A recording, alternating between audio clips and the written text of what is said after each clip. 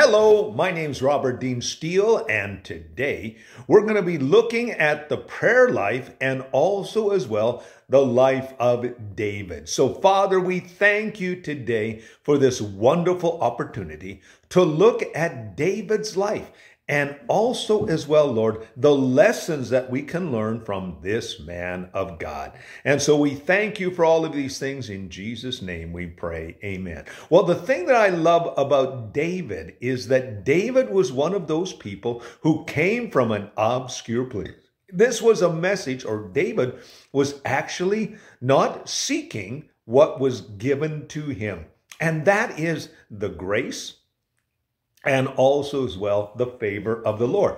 Now, Saul, of course, was the first original king of the nation of Israel. And he started out pretty good. In fact, he started out prophesying, but then as time progressed, he became, you know, a, person who actually began to believe his own press. And we have to be careful about that because the simple fact is if God decides to elevate us, if God decides to give us a place of favor and also as well a place where we can go and, you know, touch others, well, then of course we shouldn't what often happens is this is that people begin to you know talk well of you.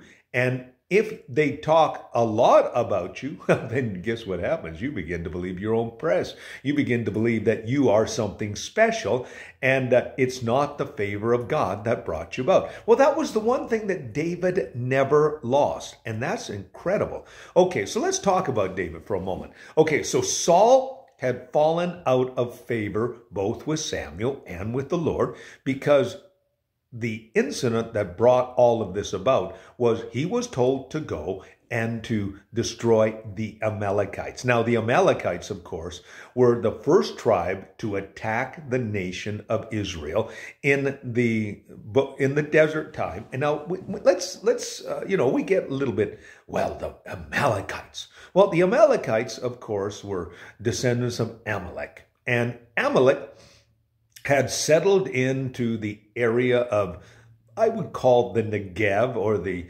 um, you know, the uh, Sinai Peninsula is also as well. And they were also basically um, in charge of that area. They were desert nomads and they had basically carved out a life in the Sinai desert and the lower part of Canaan. And here you have this massive amount of people who have just crossed the Red Sea and they're coming into your territory. And there's not just a few people, there's a massive amount. We know there had about 600,000 men, not including their flocks, not including their families. So most scholars put it around uh, 2 million people. Well, there is limited resources in the Negev. And so, as far as the Amalekites were concerned, this was an invasion. So they decided, as you know, warrior people, they were going to eliminate the problem. They weren't going to share their resources with the Israelis, with the Israelites.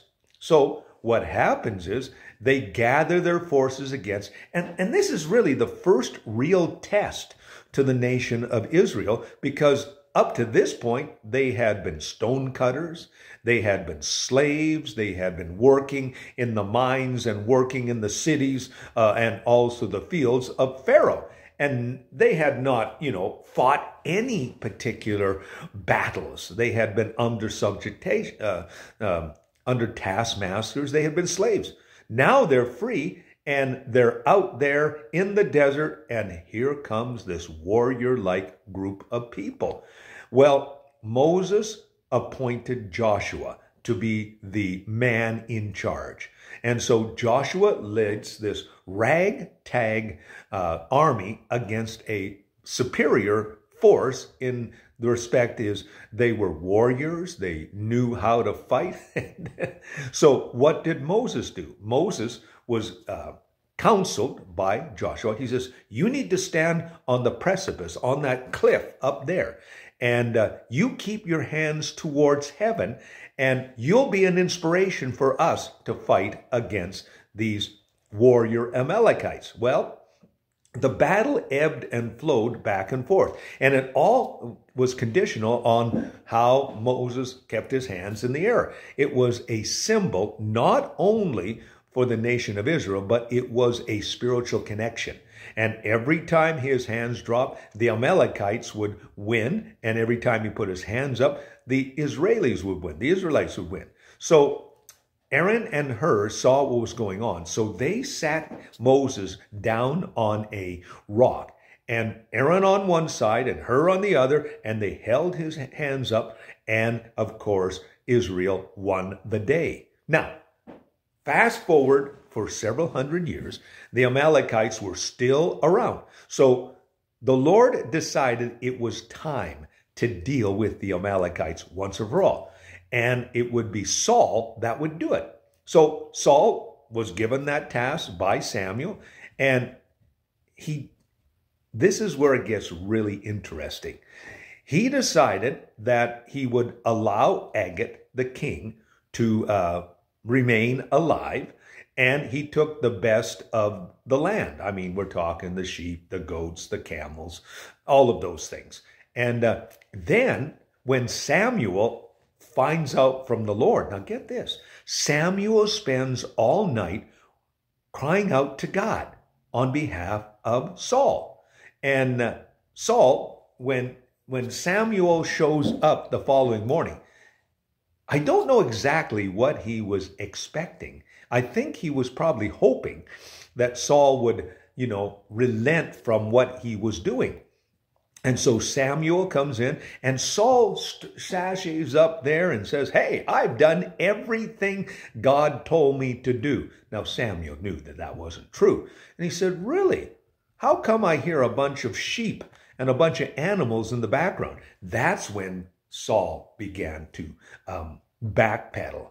And he said, Well, it's the men. They wanted to have this. And he made a bunch of excuses. And, and, and he said, and, and these animals are for sacrifice for the Lord. And that's when Samuel said, Listen, Saul, I want you to know something. With God, it's not sacrifice, it is obedience. And so ultimately, Saul lost his um, kingship. And so the Lord, you know, here was Samuel lamenting and crying over Saul and saying, you know, he felt responsible for this because he was the one that anointed Saul to be king. And the Lord said, Saul or Samuel, don't do this anymore. I have found a man. And that man is from the house of Jesse in Bethlehem. And I want you to go down there. Now, Samuel says, wait a minute. If I go down there to anoint a new king and Saul finds out my life isn't worth anything, Lord says, what I want you to do is go down to Bethlehem and to, you know, come under the premise and pretense of having a banquet there. So guess what happens? He goes down to Bethlehem, and the people of Bethlehem are well aware of the anointing and the influence of Saul. So they say, Are you here for uh, war? Are you here for uh, other things? And he says, We're going to have a, we're going to have ourselves a, a banquet. And so they begin to have a banquet. And then he says to Jesse, He says, um, I want to see your boys. And so he parades his boys before the uh, before Samuel. None of them are the ones that the Lord had called. So finally, Saul says, None of these guys are going to do. He says, Do you have another boy? And they said, Yeah, we got David. Well, would you send for him?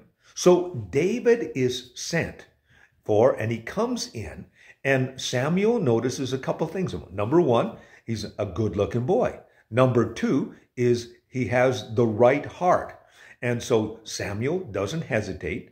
He anoints David with oil, and David begins his ministry. He begins as, first of all, a simple helper. Now, this is this is where it gets really kind of neat. Is um, when the anointing left him, and that's what we got to be careful of. We got to be careful that we do what God wants us to do, because what can happen is the anointing can leave. We can find ourselves doing things in our own strength. Now, this is an important point too. David when he was chased around by Saul, he did not touch Saul. He respected the office and the anointing that Saul had. Even though Saul was chasing him and trying to kill him, David would not touch the anointing. And, and that's an important point because the gifts and callings are, are without repentance. When God calls us, God's not sorry that he did it. Now, if we choose to, you know, uh, in some way uh, not do what God wants us to do, we can find ourselves out the plan and purpose of God. And then when we find ourselves out the plan and purpose of God, we can actually find ourselves doing things in, in our own strength and our own wisdom, and we can do it in the name of God. And there's lots of that going on today. Anyway, David, prior to this particular situation, and this is where I love this, David had already been a man of prayer. David was out there on the sheep pen. And he was a bit of a warrior too, because when there was a bear and a lion that came to uh, kill and take from him uh, the sheep, David fought them and defeated them and killed them. So that got him ready, of course, to be the warrior that he was going to become. And uh, David was a multifaceted individual. He was a complex individual. Not only was he a warrior, but he was a musician. He was a singer. He was wise. He was obedient to the Lord. And that's what made him what he became. And we have records of David's accomplishments, but also we have the book of Psalms, which is half of the Psalms in the book of Psalms were written by David. And uh, when put to music, well, it's incredible stuff. I want to tell you that. Back when I first got saved, there was a group that was uh, basically uh, out of Hawaii, and uh, they were with Youth with a Mission. And they were putting songs uh, like the Psalms uh, to music. And we would listen to those music and they were great songs, and they were songs that David had written. And I thought, wow, this is really kind of cool. So, anyway, David, of course, was a man after God's own heart. Now, let's fast forward to just after David had been um, anointed as king. All of a sudden, Saul was having some tormenting. And uh, this is a very important part that we should know concerning praise and worship. The reason we should know about praise and worship, and I'm going to mention this all together because when I was reading in the book of First Chronicles, we have individuals such as Heman and Jeduthun and Asaph and Korah. They were men that prophesied under the power of music. Music is a powerful stimulant and sedative. And in, in Saul's case, when David sang and when David played the harp, those that, that spirit that was uh, tormenting him would leave. And so there's a very powerful lesson for us today. And that is if you feel overwhelmed by whatever, sing songs of praise and worship. I do all the time. I have a whole repertoire of songs that I just grab my guitar and I begin to sing, and the Spirit of God comes into that moment, and it's beautiful. And I'm grateful that He has given me that ability. Maybe you don't have the greatest voice. So we had a guy in our church, his name was Charlie. And Charlie, he had a voice of a raven, but he loved to praise the Lord. And uh, I remember his family saying he had two lovely daughters who had wonderful voices. And uh, they often said, Dad, you're throwing us off key. He says, I don't care. I'm praising the Lord. And so if you can sing or you can't sing, you know what? We're called to praise and we're to worship the Lord. So David then, you know, was able to do that. Now, of course, David then would defeat Goliath and David would become a mighty man. He would become a warrior, and ultimately he became king. And when he was king, uh, and, and, and this is kind of neat. I mean, I'm fast forwarding here because I could talk about, you know, Goliath and the whole aspect of Goliath, but that's, that's not where we're going today. Today, I want to talk about the prayer life and also the praise and worship life of David. David was a man after God's own heart, and David loved to praise the Lord. In many of his Psalms, he would say, Oh, give thanks to the Lord, for he is good. Or he would say, The Lord is our refuge, the Lord is our strength. I was just looking today at, uh, or yesterday, at Psalm 34, verse number 7, and it says, The angels of the Lord camp around them that fear him. Today, I was looking at Psalm 34 8, and it says, Taste and see that the Lord is good, and he blesses those who trust in him. Now, that is so powerful when you think about what David was getting across. You see, David loved and understood the power of praise and worship. He understood that when you worship the Lord, it's an attitude of the heart expressed. And, and David would talk about different forms of worship. He would talk about the Shabach, which was the shout. When we talk about the Shabach, of course, a, a perfect reference to the Shabach is what happened when Joshua took the city of Jericho. They marched around the city of Jericho for six days, one time. And then on the seventh day, they walked around and marched around with the trumpets blowing and everything like that. And the, the people didn't say anything. But when it was time, they let out a shout and the walls came tumbling down. Now, there's a great lesson in themselves. Using the shout, you and I can declare in the spiritual realm that we are victors in Jesus Christ. I mean, it's beautiful when you think about that. David also loved to, you know, he said, raise your hands and raise, maybe in his mind, he was thinking about uh, Moses and the nation of Israel fighting the Amalekites, which we talked about.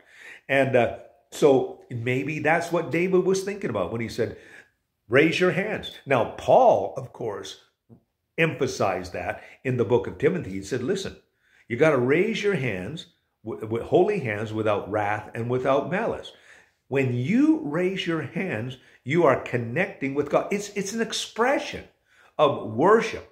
He also talked about, you know, laying prostrate before the Lord, you know, and that is often a sign of humbling ourselves and being penitent uh, before the Lord. We're acknowledging that He is, is large and in charge. He talked about, for example, the wave of unto the Lord. You know, you're waving unto the Lord. And what you are doing is you are simply acknowledging Him as He is the Lord, and you are making a decision for um, for allegiance. Then there's the dance. Now, of course, uh, many of us in the church, we're not that great of dancers, but the simple fact is that, uh, for example, when Miriam and the nation of Israel celebrated, that's in Exodus chapter 15, uh, you have Miriam grabbing the tambourine and leading the ladies in a dance. And they danced before the Lord. David danced before the Lord when they were bringing the um, Ark of the Covenant in uh, First Chronicles 16. He danced before the Lord. And then when Michal, his wife, said, That's not what you're supposed to do, he said, Well, let me just tell you something, Michal. I am going to be even more undignified than this. You see, David understood that expression was very important. You know what really breaks my heart is when you're in a worship service, you're in a song service, and people are standing there like bumps on the log. And you're thinking to yourself, what happened, man? This is the most exciting news, the most exciting opportunity that you can have. This is one of the things that blew me away when I first was in my, uh, when I was in Havre, Montana on the Friday night and I had never seen this before. See, in my church, we didn't do those things. and, and I see all these long haired Jesus people with their hands raised towards heaven, their eyes closed, and worshiping the Lord. That just blew me away. But I thought this is this is different. Well, after I got saved and I realized the beauty of the songs, when I realized the power of praise and worship and what it could do. And I mean, I we were in a, a church that they shouted. They were in a church that raised their hands. It was a church in revival, and it was wonderful. And you know, I had Holy Ghost goosebumps and all of that. But when I started, you know, playing the guitar. I mean, I used to sing with all the different young people. We had a young lady named Debbie Flown, and Debbie would get out there with her guitar and she would lead us in worship. And I had a friend whose name was Brian Brio, and Brian was a pretty good guitar player. In fact, I was in a group with him called Christian Love, and we were with our friends. Uh, Jim Ramsey and Kurt Garber and George Ayers. It was it was a great time. We we sang all those you know Gaither songs and and Master's Touch song and and you know can you imagine a bunch of hippies are singing gospel quartets? it was it was a real stretch back in those days. But you know also as well there were other songs like the Sweet Comfort Band and and and all of that opened up a brand new avenue for me and whenever I read the Psalms, I think of David with his 10 string lyre. And I think of him worshiping the Lord, whether it was in the sheep pen, whether it was with Saul, or whether it was, of course, in his own private time. Now, I just read, you know, uh, just before I started this particular time about David near the when he was established, he made uh, got a whole bunch of uh, Levitical choirs and also as well Levitical uh, symphonies together, and and they worship the Lord day and night. At each sacrifice, they would have a time of praise and worship. Can you imagine Levitical choirs of men? And I have heard men's choirs, and they are absolutely fantastic. You got the basses, you got the baritones, you got, of course, the uh, tenors, all moving together, singing songs of praise and worship. It is just absolutely electrifying. That's the only way that I can describe it. And this was going on during the reign of David every single day. And what were they singing? They were singing songs written by David and written by the great leaders of that time. We actually have in the book of Psalms, we have one from Psalms from Korah and Jeduthun and, and Heman and Asaph. They're all there. And they're beautiful, beautiful pieces of literature, uh, poetry, and also as well hymns that were written for the Old Testament. When you look at the book of Psalms, it is actually the hymn book of the Old Testament. And, and it's easy to put them to music. Very easy. Make a joyful noise unto the Lord, all ye, all ye lands, serve the Lord, the Lord with goodness. Come before his presence of singing, enter into his gates with thanksgiving, and into his courts with praise. Give thanks unto him, and praise, and bless his name. For the Lord, the Lord is good, and his mercy is everlasting, and his truth, and truth endureth endureth to all generations, amen. I mean, that's just one song. I mean, there are so many different ones that we could do. The simple fact is, David loved to worship the Lord. And I want to encourage you today to do that.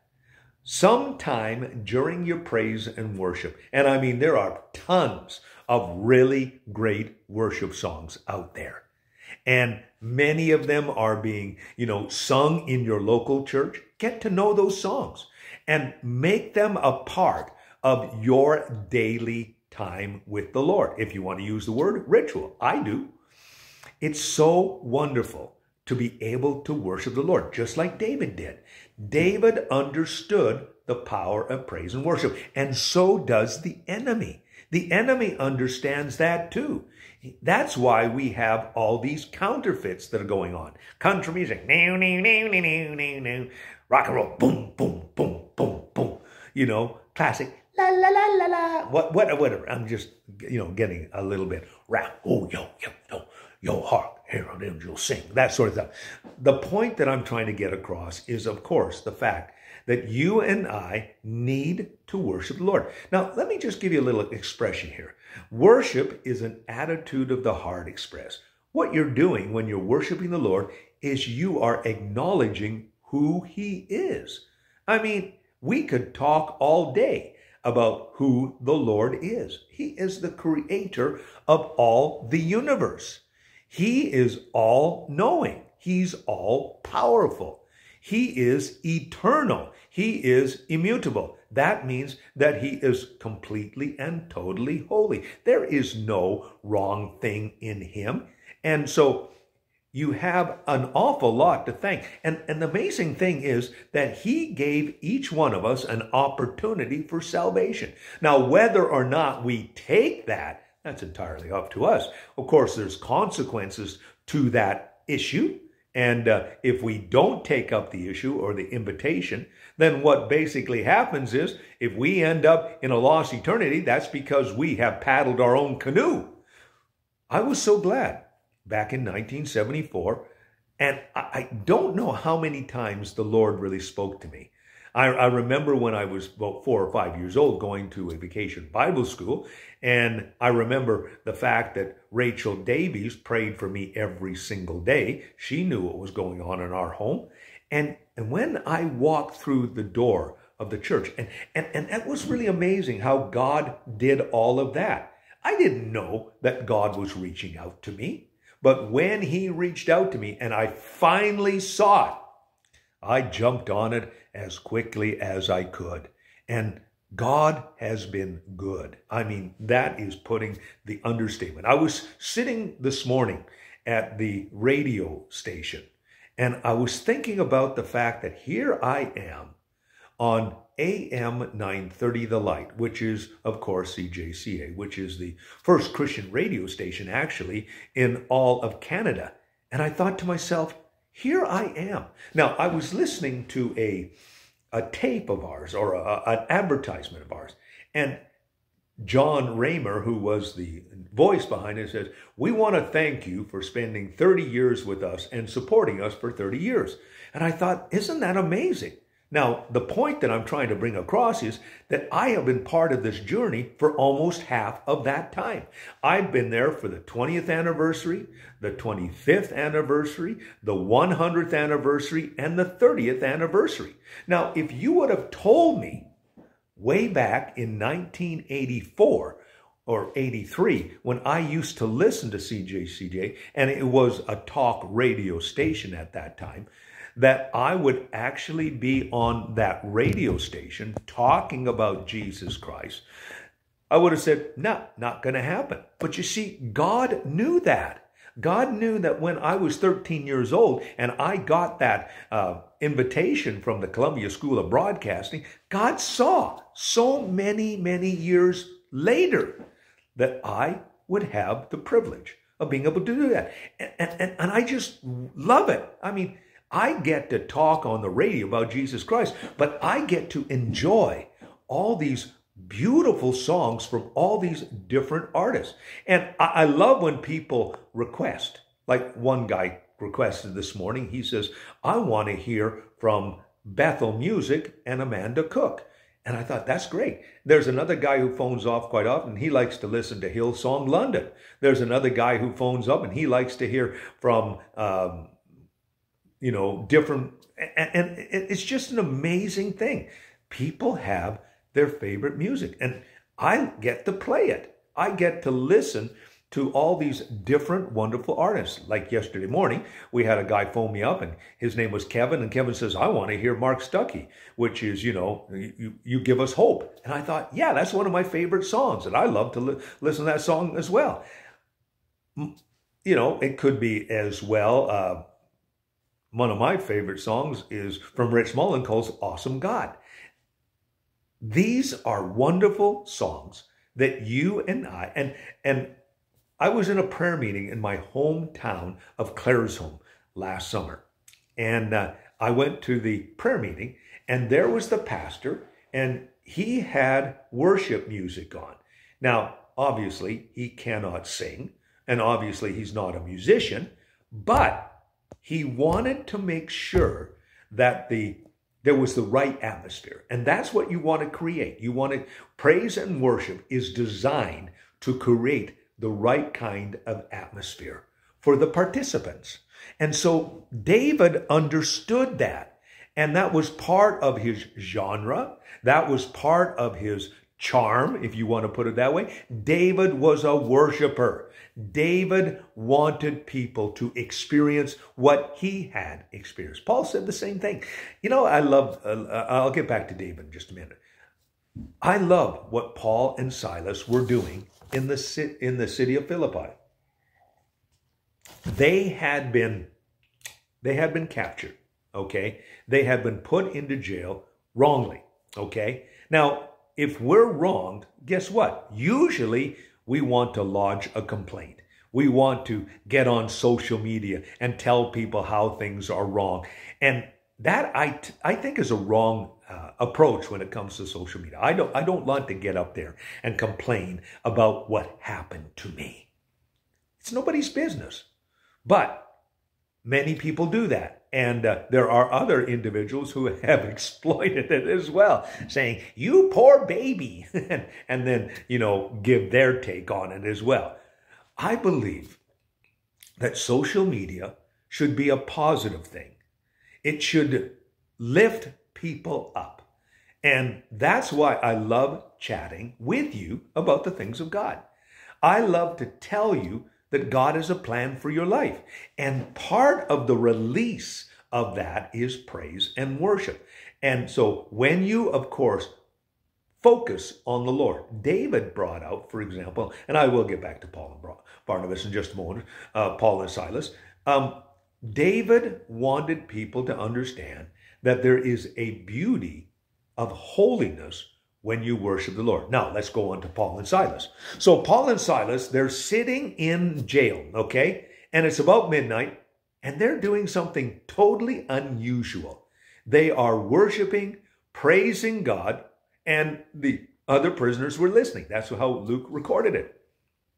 Well, that praise and worship released a spiritual victory. You say, what's the spiritual victory? Okay, an earthquake all of a sudden begins to rattle and roll through that place. The doors open, the prisoner's chains fall off, and the first reaction of the Philippian jailer is, oh boy, I'm in trouble. He knows that if anybody escapes, it's his life for their lives. So he's drawing his sword to kill himself. Now, I don't know how Paul saw it. He probably saw it in the spirit, but he cries out and says, Don't kill yourself. Where everybody's still here. Everybody was still in shock over what was going on. And maybe, just maybe, there were angels standing in the doorway saying, You guys can't leave. Either way, the Philippian jailer comes in and he brings the torch and he says, Guys, I've been hearing you guys praising your God. What must I do to be saved? And of course, he takes Paul and Silas home, dresses up their wounds, and then Paul and Silas get to preach the gospel to his family, and the entire family gets saved. This is a marvelous story. What was the premise? The premise was praise and worship. Folks, don't belittle it. Don't put it aside. That's why we need to pray for anointed singers. That's why we need to pray for anointed song leaders. That's why we need to pray for a, a anointed musicians and worship teams and choirs. Why? Because they help us to enter in. Back in 1980, I would say, I, I think it was about 84, there was a song that came out by Steve Green called Enter In. And I often sang it in my church in Yellowknife and, and other places as well. I have a tape that talks about it. And it says, you know, come into that place and enter in. It's an invitation. When you have an opportunity to be able to praise and worship, please don't stand there like a lump Don't stand there and say, hey, entertain me. It's not about you. You know, the church wars that we've had over the years, believe me, I have had many. We were in our church in Salmon Arm, and we had a wonderful worship leader. His name was Michael Berry. And Michael had, we had a couple of wonderful people in our church, but the problem was they harassed poor Michael Berry because he wasn't playing the songs that they were playing. So finally, I had to have a conversation with those people and said, leave him alone. This guy is leading us in worship in ways that we never dreamed possible. I remember we had a we had a Christmas presentation, and uh, it was something that we did every year in the city of of uh, Salmon Arm, and his wife and himself. That was Michael. Michael went and be, he played his guitar, and his wife did what we would call inspirational dance. It was the most beautiful thing that we had ever seen. And people afterwards said, Is he in your church? I said, Yes. Oh, they are absolutely wonderful. And they were tremendous. And I was in another church just after that. And we would have this one guy come up every single Sunday, and he would complain about the worship and what was going on. And, you know, it wasn't according to his. Finally, I just said, brother, let it alone. It's not about you. It's not about your style. It's not about what you want. Stop it. And not that long afterwards, I heard a wonderful illustration that just brings it home. And uh, I want to share it with you because it's, it's a very powerful story. It's the story of the Gadarene demoniac. Now, when you read the text, what's going on is Jesus is coming across the Sea of Galilee. He's going into the area of Gadara. Now, the backstory of this guy is that he is demonically possessed by 2,000 to 4,000 to 6,000 demons. He was in, he was literally um, filled with a legion of demons. And he would run through the graveyards and he would cut himself and he was so powerful with demonic power that when they tried to bind him he'd break the chains. And we're not talking you know bungee cords here. We're talking big thick chains. Off they go. Well when jesus comes into the area the man comes running towards him. Now get this. According to the biblical text he was going there to worship Jesus. Something inside of that man wanted to worship Jesus. And no demon of hell is going to be able to stop you from worshiping if you really want to worship. We know that from the incident that happened afterwards, there were 2,000 pigs that ended up, of course, drowning in the Sea of Galilee. And, you know, because they, those demons basically said, don't cast us out the outer darkness, send us in the pigs. And Jesus did that. And uh, we, that's a whole nother story. But the point that I'm trying to say to you is this. Nothing can stop you from worshiping if you really want to worship. The only one that stops you from worshiping, the only one that stops you from praising is you. So take some responsibility and be like David. David was a man who understood the power of worship. He also understood the power of praise. When I think about praise, I know that there are many different, you know, um, what we would call definitions out there. But when I think about praise, I'm always thinking about thanking the Lord for what he's done. Now, I could spend all day talking about the things that the Lord has done and how that he has met my needs and, and touched my life, etc., etc. I mean, it's been pretty amazing. And I'm grateful for that. I mean, when I was sitting this morning in AM 930 Light, I was reflecting on how good God has been to me. It's like Johnny Appleseed. You ever see that little Johnny Appleseed thing from uh, from Disney? And he says, "The Lord has been good to me." what a difference between Disney in the 1950s and Disney's today. Anyway, let's continue on. The point is, when you thank the Lord for what He has done, and when you thank the Lord for who He is, and, and this is a very important point. I was listening this morning to Adrian Rogers, and I love that. He said this worship is, you're not going to add anything to the Lord when it comes to his character, his essence, and his nature. What Adrian Rogers was saying was this you become like the person or the thing that you worship. If you, for example, you worship the devil, guess what? You become like the devil. If you worship the world, you become like the world. If you worship yourself, then you become self absorbed and selfish. But if you worship the Lord, guess what? You take on His essence, His nature, and His character. And that's why we need to worship the Lord, because you become like who you worship. That's why Peter said, Listen, grow in the grace and knowledge of the Lord Jesus Christ. That's why the Holy Spirit is constantly pushing us towards Jesus because we want to become like Jesus. We want to have the same impact in our world like Jesus. And if you get that, then you realize that praise and worship is not about you. And it's not even that you're adding something. You know, one of my friends asked me, Well, why should I worship the Lord?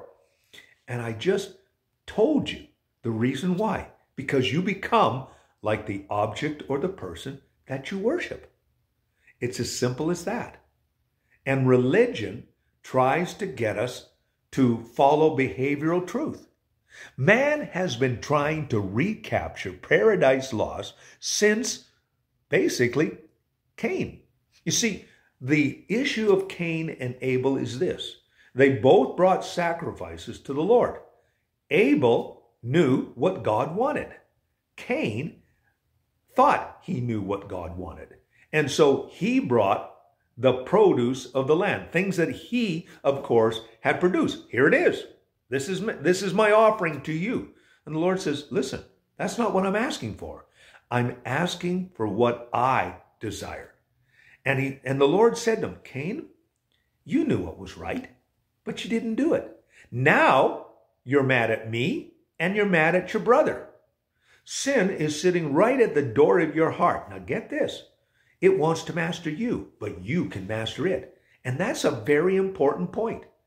You and I can master sin, but we master it through our relationship with God and being obedient to God and realizing that God has already provided a way. And it's not what we want. Well, of course, we know that Cain, he couldn't kill God, all right? So what does he do? He takes his anger out on the next best thing. His brother kills him and then cries the victim. Oh, what you're asking. I mean, he got some consequences. There are consequences to what we do. Some of it is not very pleasant. I know myself. I've done some stupid stuff, and guess what? The consequences have been there. I haven't wanted those things. I wasn't, it wasn't my desire at the time. But the simple fact is, you reap what you sow. So he basically ended up becoming an outcast. And his descendants and the descendants of Shem, they clashed to the point where God later had to literally destroy the whole world. Fortunately, God had a man, in his place was Noah, and Noah prayed. This is incredible. He, he preached for a hundred years, and nobody listened. It's amazing how people listen when all of a sudden the consequences happen. And in Noah's case, there wasn't any, you know, back plan. Noah was it. And when people all of a sudden realized that he was right, it cost them their lives. Uh, let's not be foolish. Anyway, back to David. So, David, of course, was a man after God's own heart. He praised and he worshiped the Lord. And, and as I was reading today, and uh, I'm going to need to see how much time I've got. I've been pontificating. Okay, let me close with this particular. I was reading today in the book of First Chronicles, and Ezra, who is the uh, writer of First Chronicles, Ezra, of course, gives a detailed list of all the different worship people. But it was interesting, and um, and I remember saying this years ago. Um, Lois's dad, my wife's dad, was a great scholar. He loved the Word of God, but every once in a while um, he missed things. And I remember we were in Three Hills, and I was, you know, Bible college student, and I, I talk. I, I'd read First Chronicles a couple of times up to that point, and uh, and he was talking about David and he was talking about Solomon and and he's and and I said, well, I guess you know that David supplied everything for the temple. He says, where'd you get that? And I said, well, the book of First Chronicles. And Lois's mom, whose name was Marita, she whips it out and says, oh yeah, it's uh, Chronicles 27, 28, and 29. And he goes, I never saw that. And I thought to myself, wow, even an educated man can miss it. The simple fact is that David, when he knew he couldn't build the temple, he didn't soft soap. He didn't get selfish. He didn't get mad at God. You know what he did? He says, okay, no problem at all. I will do everything I can to help this boy out.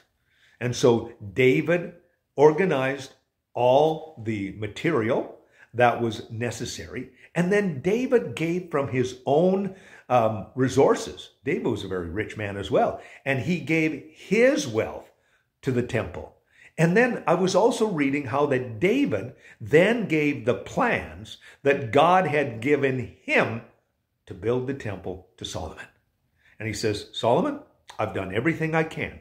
I know that I can't do this, but I know that you will.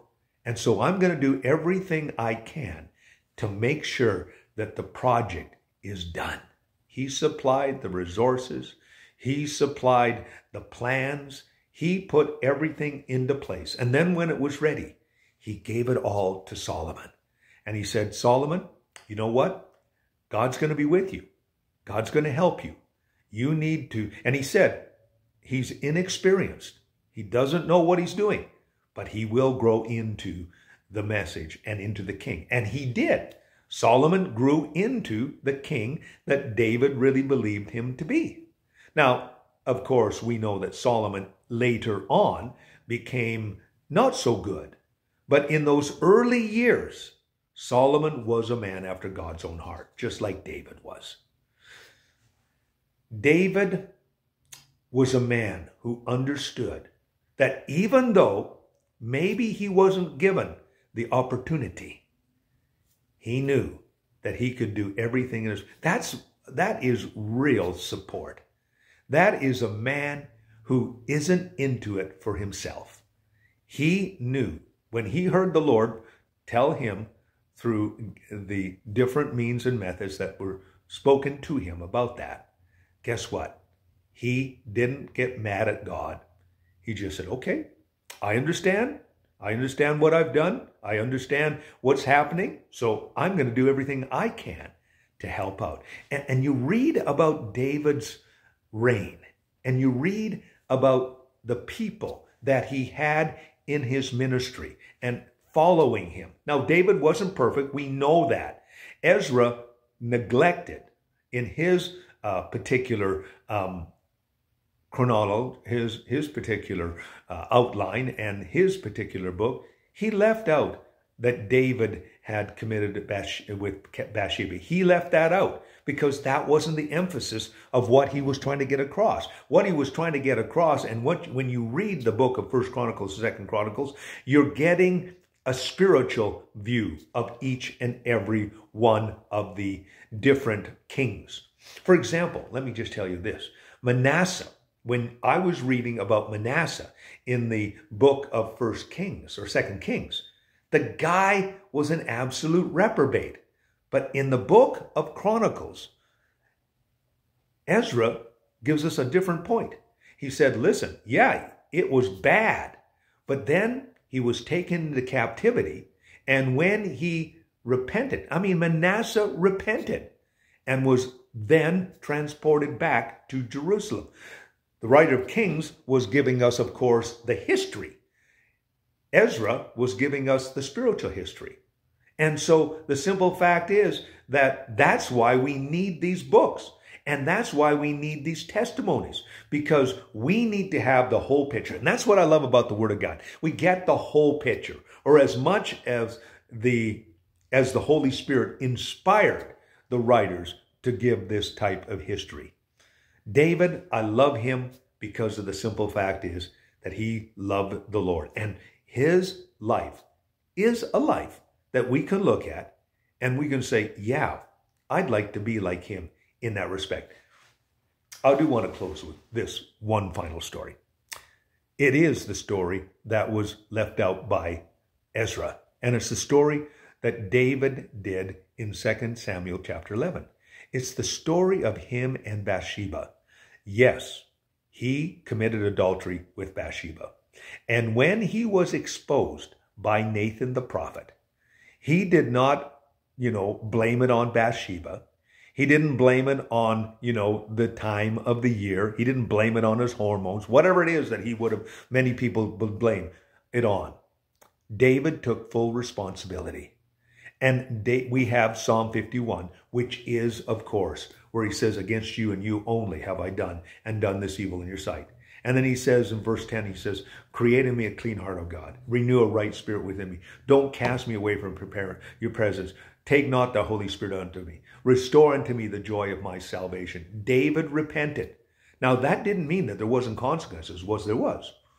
The child that was born to David and Bathsheba passed away. But that's not the end of the story.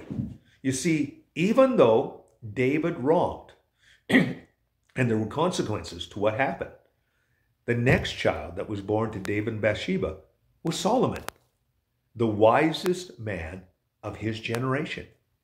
And next to Jesus Christ, probably the wisest man that ever lived.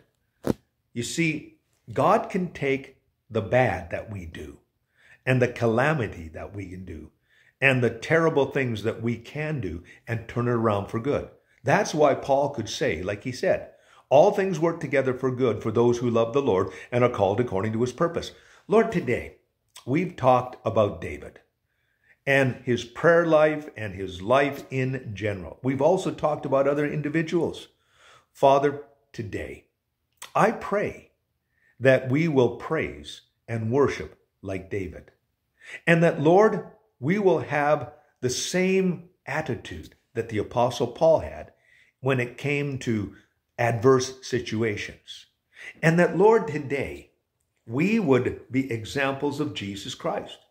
Jesus, I love him, especially the story of mom and dad finding him in the temple when he was 12 years old, when he said simply this Where else would I be but in my father's house doing my father's business? Lord, I pray that we'll do that today. I pray that we will take these examples that are given to us in the scriptures. As I've been going through again, oh, I love this. It's been just an educational time for me. Every time I go through the Word, I find something new, something different, something I hadn't seen before. And Lord, I thank you for that. And I thank you for the application that we can use in the Word. And Father, I pray from now on that we who love you, instead of using our social media to snipe at each other and to, you know, troll on people who don't necessarily agree with us, that Lord instead will use it to edify and touch others for you. And I pray this now in Jesus' name. Amen. Well, of course, if you like what I've been hearing, what you've been hearing, and also uh, what you've been seeing, then press the like button and subscribe to my YouTube channel. My name is Robert Dean Steel. God bless.